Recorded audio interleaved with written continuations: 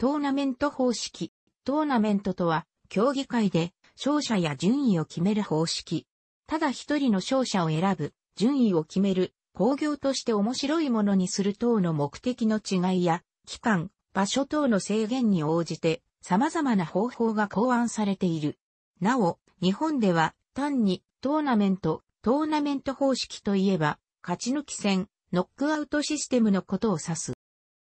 トーナメント、トーナメントとは日本語の大会に近い意味の言葉である。それ自体、大会の形式とは無関係である。言葉のルーツとなったものは、中世の騎士が行った馬上槍試合である。実際の戦争の代わりに行われ、名誉のみならず、金品、時には領土までかけたため死者が出ることもあった。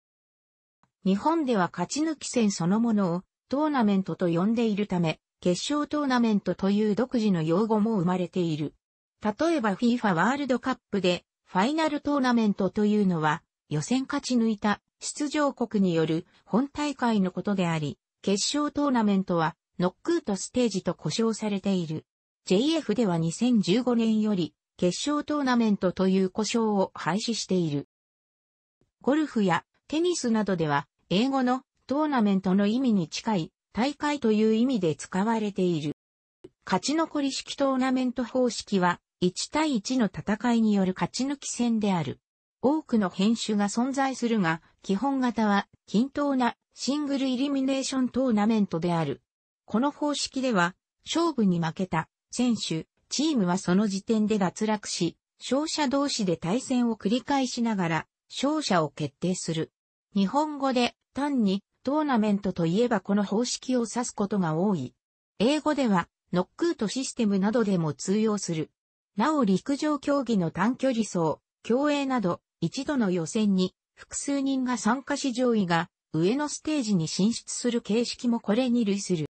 対戦表の下の段から順に第 N 回戦と呼ぶ。最後の3回戦は第 N 回戦ではなくて、準々決勝、クォーターファイナル、クワーターファイナル準決勝、セミファイナル、セミファイナル、決勝戦、ファイナル、ファイナルと呼ぶ。また、準決勝の敗者同士の試合が行われる場合がある。これを3位決定戦、サード、プレースプレー、オフと呼ぶ。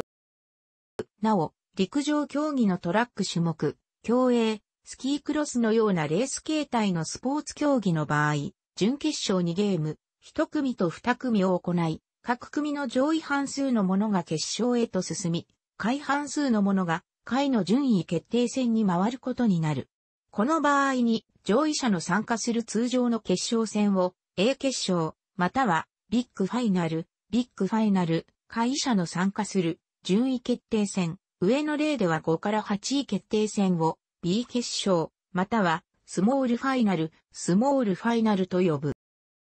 特殊な方式として HBC カップジャンプ競技会では16人をペアで競わせて8人、続いて4人に絞り込み、決勝戦はその4人全員で一度に競技を行い、優勝者を決めている。対戦表は勝ち抜いた時の試合数が同数となるようにバランスをとって構成する。ただし、参加者数が2とならない場合、対戦表が完全に分目構造とならず、1回戦に参加しない選手、チームが出てくる。その場合は、などの処理をする。N 人、チームでシングルイリミネーショントーナメントを行うと、総試合数は N-1 試合になる、引き分け再試合、3位決定戦などは除く。これは試合数が敗者数と一致し、一敗もしない選手、チームが一人、一チームだけ残って優勝者となるからである。例えば、20人、チームなら、どんな構成の対戦表でも全試合数は常に19、2となる、引き分け再試合、3位決定戦などがない場合。メジャーリーグベースボールのポストシーズン等、番勝負と併用したトーナメント方式も存在する。UEFA チャンピオンズリーグの決勝トーナメントや、夏の全国高校野球選手権と、全国高等学校ラグフットボール大会の準々決勝以降等、1回戦ごとに、その都度抽選で対戦相手を決めるトーナメント方式も存在する。この場合、くじ運が左右される。大会によっては、近隣地区同士の選手、チームや対立や国際紛争など関係が悪い地区同士の選手、チームは可能な限り対戦を避けるように振り分けられる場合がある。また、代表選手、チームの決定が大幅に遅れた地域や出場が決まっている選手、チームの地元が大災害に見舞われた場合、その選手、チームは初戦を最後もしくはそれに近い順に振り分かる場合もある。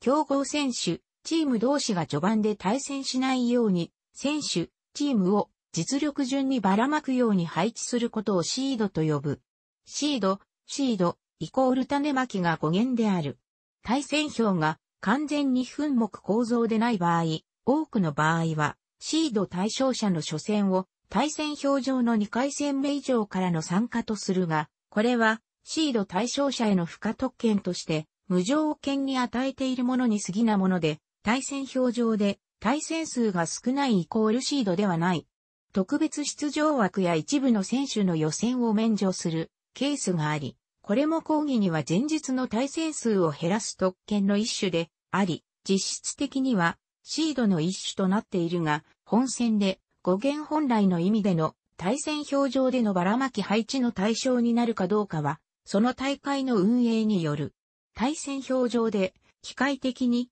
シードを設定するアルゴリズムとして次のような方法が知られている。例えば6人の参加者をこれに従って配置すると、1、54、362という組み合わせが得られる。8人だと、18、54、36、72となる。なお、2回戦以降の対戦カードも順次、シード順で決めていくという方式もある。NFL のプレイオフなど。もっとも、シード順は成績順に並ぶとは限らず、成績の低い選手、チームに高いシード順を割り当てることもある。特に地区制度を採用している場合、地区制覇をした選手、チームは成績にかからずそうでない選手、チームよりも高いシード順になることがある。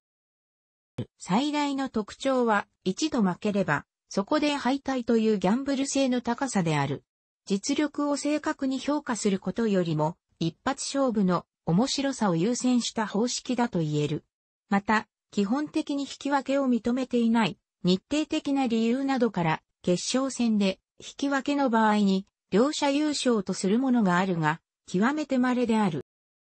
即決性が高く、最後に決勝戦、直接対決で優勝者が決まるため、各種競技、スポーツ、アトラクション、ゲームなどにおける決勝ラウンド、本戦などで使用されることが多い。また、比較的容易に運営でき、感染者にとって状況把握が容易であるため、アトラクションやバラエティ番組企画での競技や選抜などにも用いられやすい。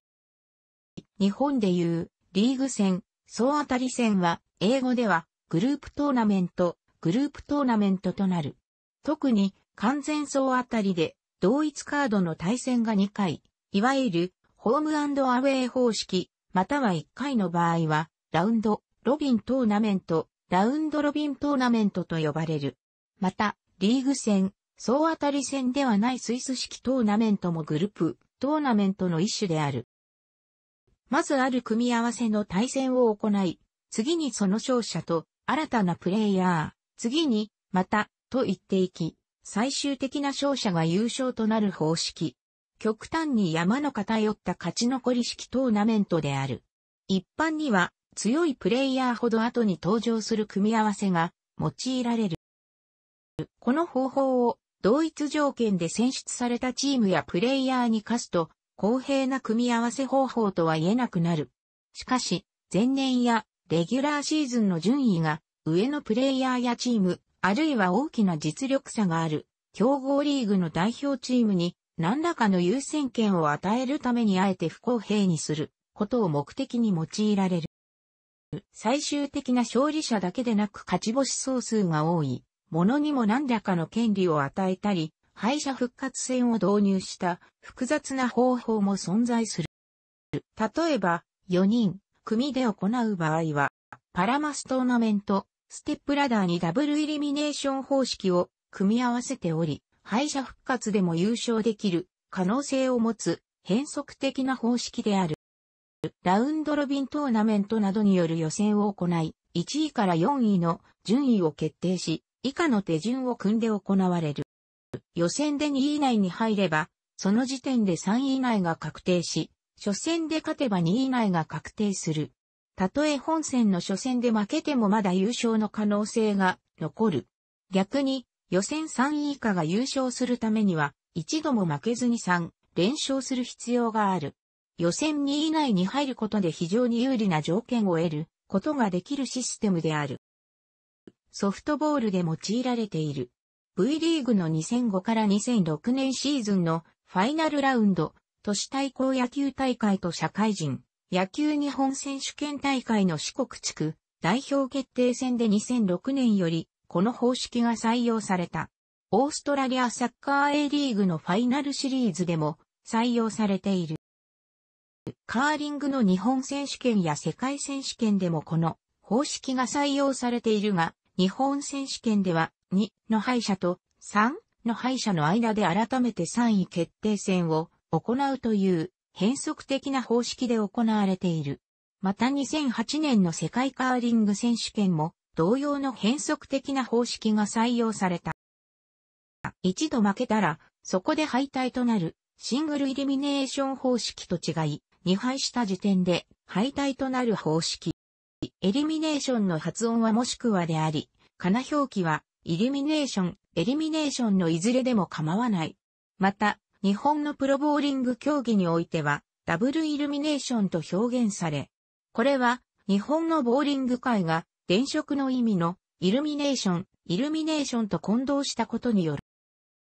通常のシングルイルミネーショントーナメントを行い、決勝進出者を決め、勝者サイド、それと同時にいっぱいした者同士の間でも、シングルイルミネーショントーナメントを行い決勝、進出者を決める、モノサイド。この2社で決勝戦を行い優勝者を決定する。完全、ダブルイリミネーションの場合、決勝戦で敗者サイドを勝ち上がった者が勝った場合、決勝の再戦を行う。将棋の棋王戦が挑戦者決定戦で勝者側は1勝で良いが、敗者側は2勝必要という方式を採用している。予選等で勝者サイド、敗者サイドともに次ラウンドに進める場合、決勝戦で敗者サイドを勝ち上がった者が勝った場合でもそのまま優勝者とみなされる場合や、決勝戦は行わずに、勝者サイドを勝ち上がった者を1位、敗者サイドを勝ち上がった者を2位とする場合もある。組み合わせによる有利不利を軽減することができるが、試合数が倍になる。また、同じ対戦カードが複数回起こりやすい、工夫次第で発生しにくくはできるが絶対に発生しないようにはできない。また、決勝戦に進出するチームのどちらかは必ずいっぱいしていることになる。楽しくご覧になりましたら、購読と良いです。クリックしてください。